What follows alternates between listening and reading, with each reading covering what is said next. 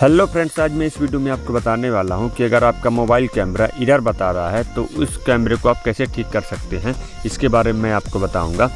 जब आप सेल्फी लेते हैं या मोबाइल से अपने फ़ोटो लेते हैं तो आपका कैमरा जो है तो इरर बताता है। जैसे मैं आपको दिखा देता हूँ कि किस तरह है। तो ये देखिए, मैंने कैमरा ओपन किया और इसमें लिखा है, style can't contact to camera, try restarting your device. Okay? तो इसको आप कैसे सॉल्व कर सकते हैं? अगर आप ओके करते हैं तो आपका कैमरा तो भी सही नहीं होता है। तो मैं आपको बताता हूँ कि यह कैमरा आप कैसे सही कर सकते हैं। ओके अगर आपने अभी तक चैनल को सब्सक्राइब नहीं किया तो सब्सक्राइब कर लीजिएगा और बेल आइकन को प्रेस कर दीजिएगा एंड वीडियो को लाइक कर दीजिएगा। ओके चलिए वीडियो में हम आगे बढ़ते हैं। तो हमको सबसे पहले सेटिंग ओपन करना पड़ेगा। ओके तो मैं सेटिंग ओपन कर लेता हूँ। ओके यहाँ सेटिंग पर क्लिक किया।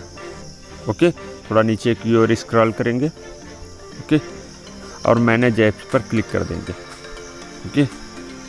थोड़ा सर्च हो गया, इसके बाद ये इंटरफेस खुलेगा और यहाँ से आप अपना कैमरा ढूंढ लेंगे, ओके? जहाँ भी कैमरा का ऑप्शन होगा, उसको आप ढूंढ लेंगे, ओके? जैसे मैं यहाँ से सर्च कर लेता हूँ कैमरा कैमरा ये देखिए कैमरा यहाँ पर क्लिक कर देंगे, ओके? और यहाँ स्टोरेज है ना स्टोरेज पर क्लिक करेंगे और यहाँ से क्लियर डेटा कर देंगे, ओके? ये क्लियर डाटा है ना, इस पर क्लिक कर देंगे और यहाँ से क्लियर आल डेटा पर क्लिक कर देंगे और यहाँ ओके पर क्लिक कर देंगे तो आपका पूरा डेटा क्लियर हो जाएगा ओके शायद यहाँ से प्रॉब्लम होगी तो बन जाएगा ओके अब इसके बाद थोड़ा इसको बैक करेंगे और यहाँ रिस्ट्रिक्ट डेटा यूज़ पर क्लिक करेंगे ओके इसके आगे ये इंटरफेस खुलेगा। अगर ये आपके मोबाइल में ये टिक नहीं है तो आप टिक कर दीजिए। जैसे मान लीजिए टिक नहीं है ना, मैंने यहाँ पर टिक किया और ओके कर दिया ओके अगर आपके मोबाइल में नहीं है टिक तो आप टिक कर लीजिएगा ओके और हम यहाँ ऐप्स परमिशंस पर क्लिक कर देंगे ओके मैंने क्लिक किया और यहाँ पर पूरे जो आपके ऑप्शन हैं उनको टिक कर देंगे ओके राइट कर देंगे ओके अगर आपकी ऑप्शन राइट नहीं तो पूरे ऑप्शन राइट कर दीजिएगा, शायद इससे आपका कैमरा सही हो जाए ओके थोड़ा बैक करेंगे और हम देखेंगे कैमरा सही हुआ है या नहीं ओके इसका मतलब ये है कि आपके कैमरे में कोई प्रॉब्लम है, उस प्रॉब्लम को आपको ठीक करवाना पड़ेगा। सर्विस सेंटर में ले जाकर के अपने मोबाइल को ठीक करवाना पड़ेगा। ओके, मेरा मोबाइल कैमरा भी ख़राब हो गया था तो मैं इस कैमरे को रिपेयरिंग करवाने के लिए सर्विस सेंटर में ले गया था।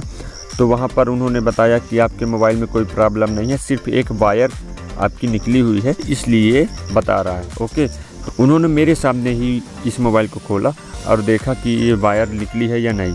तो मैंने देखा कि वो वायर निकली हुई थी, फिर उन्होंने उस वायर को उस कैमरे में सेट कर दिया तो कैमरा फिर से ओपन होने लगा, ओके? तो प्रॉब्लम यही है आपके कैमरे में तो आपको सर्विस सेंटर में जाना पड़ेगा और बनवाना पड़ेगा। अगर सर्विस सेंटर में आप नहीं बनवाना चाहते हैं तो आप दुकान में बनवा सकते हैं। दुकान में आपको सस्ता पड़ेगा। ओके?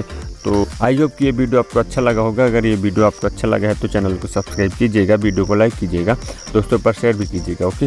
एंड इस वीडियो से रिलेटेड आपके पास कोई क्वेश्चन है तो बेशक आप पूछेगा। मैं इसी मैं इसी तरह की वीडियो आपके लिए लाता रहूँगा। तब तक के लिए बाय थैंक यू दोस्तों। जय हिंद।